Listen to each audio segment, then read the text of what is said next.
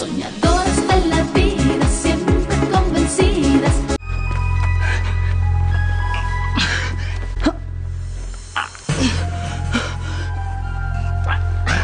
Está muy pesado. Por contigo, madre. Necesito que alguien me ayude. Un vecino. Un vecino. A ver. Para que te más caliente, Manuel.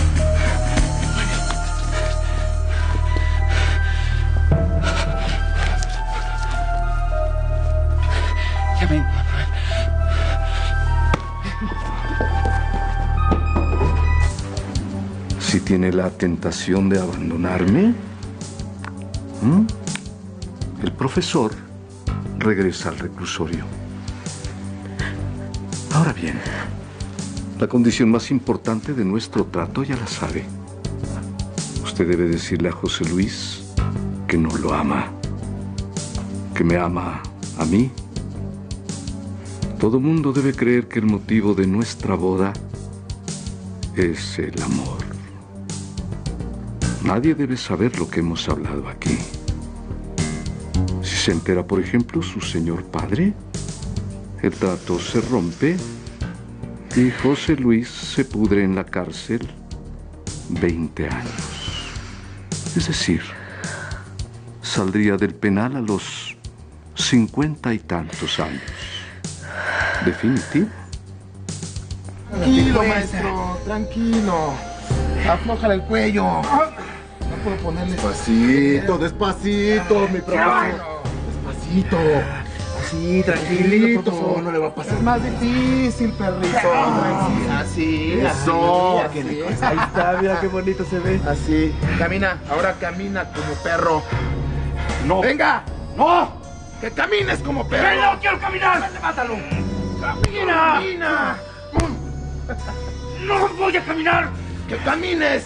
¡Ladra! No. ¡Ladra! ¡No! ¡Ladra como perro! ¡Ladra como ritintín! Pues vas a ¡Ladra!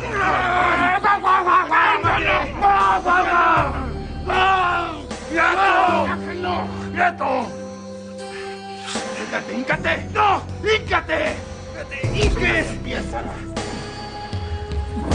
Vas a ser mi perro. Vas a ladrar cuando yo te lo pida. ¿Viste? ¿Oíste, José Luis?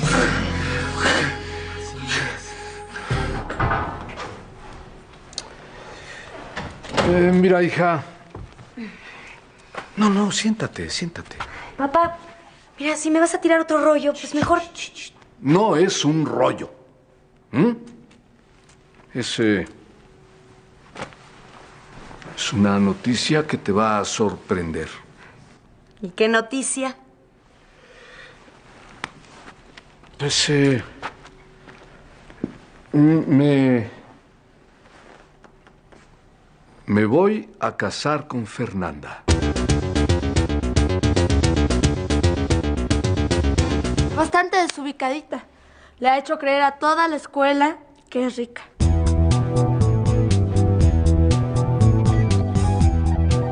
Pero la única amiga de la prepa que conoce sus secretos soy yo. ¿Ah, sí? Ah, con qué esas tenemos, cuñadita. Qué interesante. Qué interesante.